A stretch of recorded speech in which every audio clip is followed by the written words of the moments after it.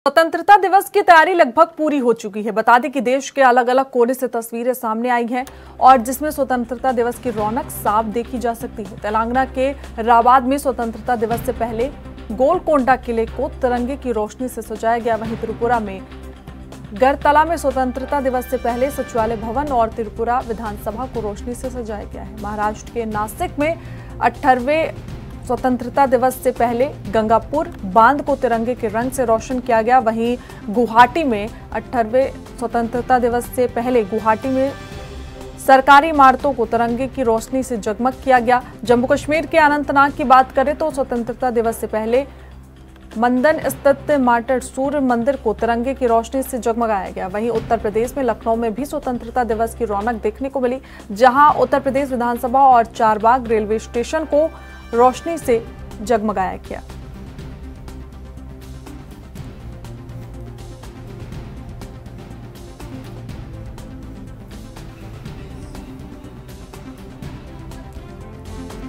इस खबर पर ज़्यादा जानकारी के साथ हमारे संवाददाता आनंद मिश्रा जुड़ गए। आनंद, किस तरह का आज जश्न मनाया जा रहा है? किस तरह से सजावट की जा रही है? क्योंकि कल स्वतंत्रता दिवस है और ज़ाहिर सी बात है कि झंडारोहण किया जाएगा लखनऊ में।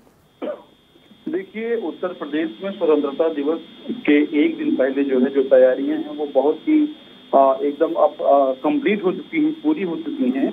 और राजधानी लखनऊ में विधानसभा है लोक भवन है और चार बाग जो स्टेशन है जो जितने भी महत्व स्वास्थ्य भवन है और जितने भी महत्वपूर्ण सरकारी जो संस्थान हैं वो सभी एकदम से आप समझ लीजिए कि सजा दिए गए हैं। रात से कल विधानसभा जो हमारी उत्तर प्रदेश की है वो एकदम से दुल्हन की तरह सजाई गई थी और चमक रही थी और इतना आकर्षित इतना आकर्षक लग रहा था उसको देखने के लिए। लोग बहुत दूर दूर से लोग आ रहे थे।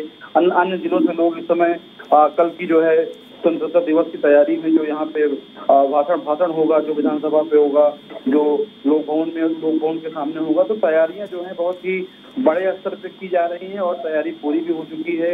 ज़िले ज़िले में जो डीएम के ऑफ़िस हैं, जो एसपी के ऑफ़िस हैं और प्रयागराज में जो महत्वपूर्ण ऑफ़िस हैं, गाजियाबाद है, नोएडा है, जितने भी बड़े ऑफ़िस हैं जो मंदिर बड़े बड़े हैं चाहे वो जो है काशी विश्वनाथ के कई मंदिर हैं, जो काशी में मंदिर हैं, अयोध्या में जो मंदिर हैं कई बड़े बड़े मंदिर हैं, उनको सब एकदम से दुल्हन की तरफ़ सजा दिया गया है और लोग जो है वो कल की तैयारी के लिए एकदम से लालायित हैं, उत्साहित हैं कि कल कैसे वो स्वतंत्रता स्वतंत्रता दिवस का जो पर्व है ये इसको मनाएँगे।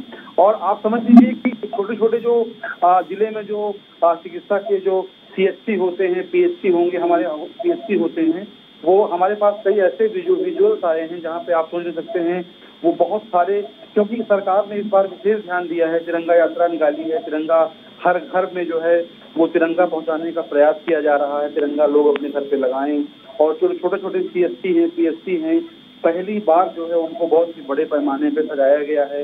प्रतापगढ़ में एक सी है, उसका, उसकी फ़ोटो कल मेरे पास आई थी, उसके विजुअल्स कल मेरे पास आए थे, बहुत ही मनमोहक विजुअल थे, आप समझ लीजिए।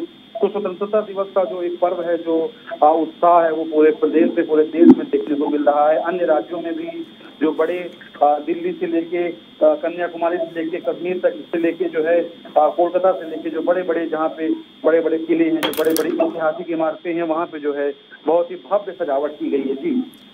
जी, बिल्कुल आनंद तमाम जानकारी के साथ जुड़ने के लिए आपका बहुत शुक्रिया।